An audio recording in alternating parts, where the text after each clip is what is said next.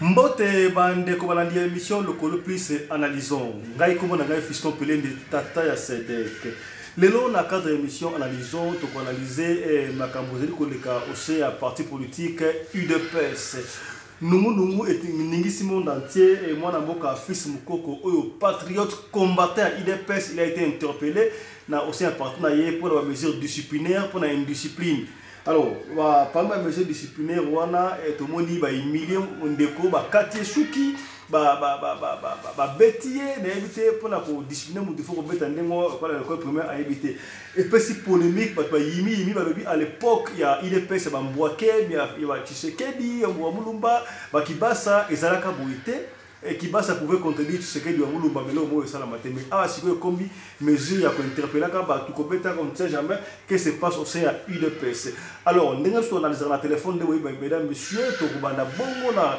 notre consoeur eh, eh, eh, madame eveline oyo aza bongo na kisasa aexplike biso réellement si eh, fils mokoko a été interpellé et puis agression wana assault oyo tobengaka na anglais esalamaki ya solo eh, puis tokoyeba intervention ya bandeko mosusu Euh, ndeko Eveline, eh, à toi. Merci euh, Fiston Pelende na ndenge ondimi na répondre na quelques questions na yo concernant affaire fils Mukoko. Mm -hmm. C'est vrai, fils Mukoko euh, azalaki interpellé lobby mm -hmm. na direction ou comité ya discipline ya parti udps mm -hmm. udps parti oyo lelo eza na pouvoir mm -hmm. euh, comité ya discipline ya udps bazo reproche na fils mokoko indiscipline voilà. selon mm -hmm. comité ya, ya, ya discipline ya udps fils mokoko akomi très indiscipliné na bakonzi donc très indiscipliné quand il dit la vérité ya parti na bango udps raison pour laquelle hier comite ya discipline e interpellaki ye babengisaki ye pour que bameka un peu ko recadrer ye bameka un peu kopesa ye ba directive mosusu euh, na mesure ya ko respecter hiérarchie ya udps okay. yango lobi ndenge bato nyonso bazomona na bareseau sociaux fils mokoko bacombattant ya udps epuis bamilitant bafandisaki ye nano na se bakati ye suki na gilete parce que epesaki bacombattant mosusu kanda ndenge bazomona selon bango fils mm. mokoko azomanke bakonzi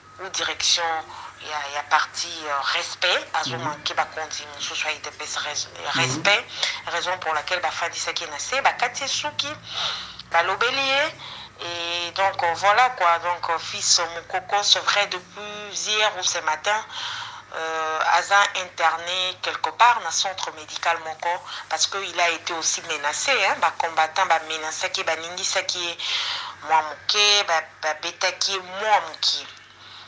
Aza interné quelque part dans centre voilà, médical. Voilà, merci beaucoup place, Francine. Voilà, eh, eh, eh, eh, merci beaucoup eh, eh, eh, Madame Evelyne. Eh, Madame Evelyne ayebi abetaki kaka mwa moke. Voilà, sikoyo le débat est, est ouvert. Eh, tolanda bandeko mosusu oyo balobi réaction bango asai concerne affaire fils mokoko. Voilà. Eh. Losako ndeko journaliste.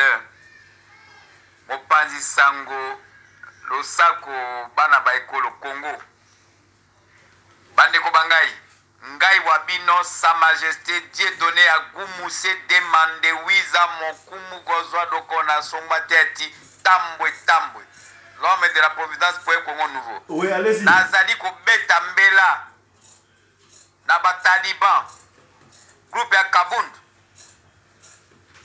mwana wana fils mokoko bolobi ke toza na etat de droit hmm. mwana wana azali koloba bosolo na mbeba ya mbutu mbutu oyo eza na kati ya idps hmm.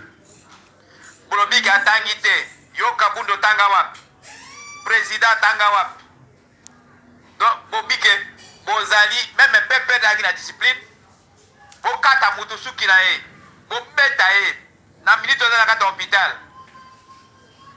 tozali koloba boye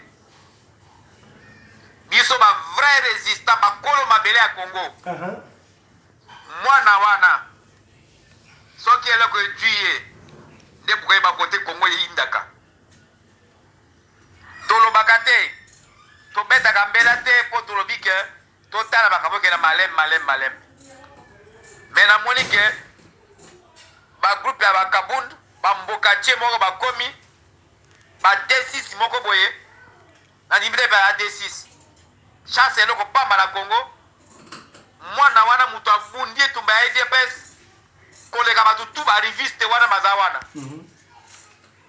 siko bolobi ke mwana wana azali indiscipline bino nde boza ba escro bozozwa mbongo na likolo ya bacongolais bozozwa mbongo likolo ya bavrai combata ya idps bino bakabunu bosala etumba ya idps wapi mwana wana akwenda na boka papa tisekedi ayebi ba secret tout oyo kutu tshilombo ayebi yango te mpo tshilombo alandi papa kaka na ba 2 ans oyo kaka ntango aza loyenge na poto alandaka politiki te me bafils ba mokoko bazalaki wana ndako wana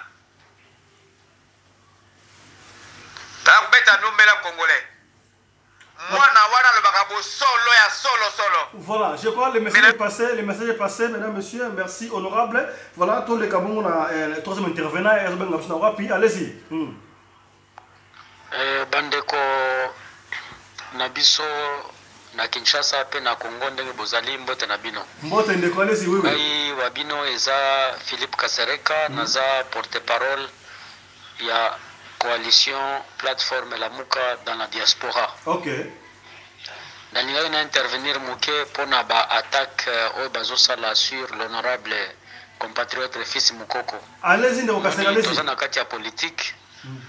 eh, nous devons éviter les muscles ou le gangsterisme parce que na politique il faut avoir l'esprit ya kodebattre oke okay, na plateau ocontredire ke olie bosattaquer mm. carrement na nzoto ya mutu ce n'est pas bien mm. alors nalingaki naloba ke fils mukoko aza compatriote oyo akoli na kati ya udps okay. donc asali vie na ye mobimba na kati ya udps ayebi bien baverité ebele eza na kati ya udps oyo mingi bakoti sikoyo bayebi yango te donc soki azosala likambo azosala azolinga idps ezonga na image oyo ya ye ya kala idps oyo toyebaka ya fetisekedi mais soki bozopekisa ye aloba nayebi ke vérité toute vérité n'est pas bonne à dire okay. ou la vérité euh, fait du mal ntango ozoyoka yango mais mosala azosala eza kolakisa ke non na kati ya idps eza na baproblème hierarchie ezolanda ezolandema te donc loi eza na kati ya idps sikoyo te mhm. donc idps eza ya kokende na kokweya alo ye na susi na ye azolinga idps emata ezala niveau ya idps oyo toyebaka mhm. alo il faut pas s'attaquer à un honorable qui, qui veut s'exprimer librement vous mettez le droit d'expression où c'est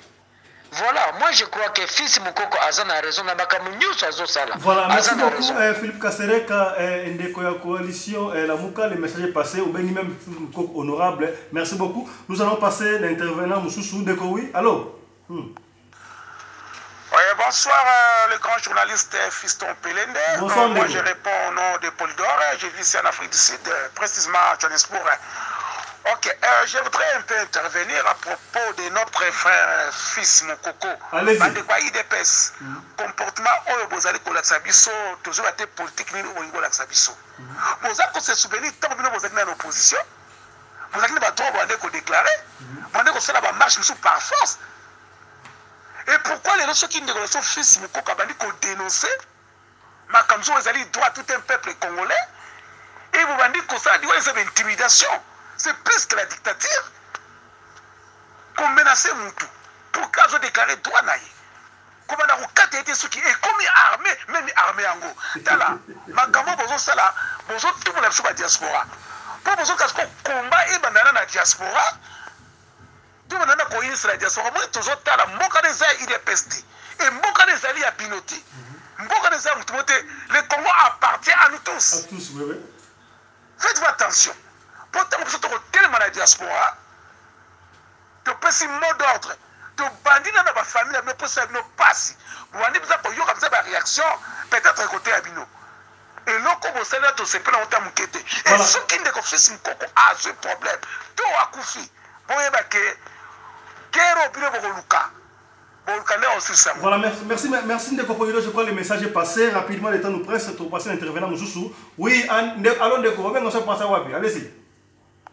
Bonsoir euh, papa Fisson Pelende et papa Sadek. Oui, bonsoir. Oui, Serge Massamba depuis Angola. Oui, oui mais Marambo basali fils mukoko eza te eza la raté, oza sous politique te eza regrettable mais vraiment eza regrettable. Hein? Pas jusque là, ya okata suki mais eza sous politique te, oyo komi kikuluna.